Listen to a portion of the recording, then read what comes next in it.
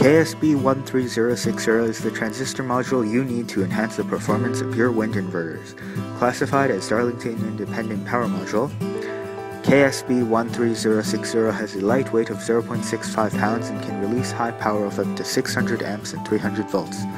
KSB13060 guarantees high level efficiency as it's equipped with a base emitter FR diode and the well known flyback diode. With these components, sudden voltage spikes seen during inductive loads are dramatically decreased. KSB13060 is also an insulated semiconductor. This ensures high resistivity and better electrical isolation between adjacent devices. Known to be very flexible, KSB13060 also works best in other target applications like DC motors, AC motors, and other power supplies. Want to know more about KSB13060? Visit uscomponent.com now and take the first step to upgrade your neighborhood's wind inverters.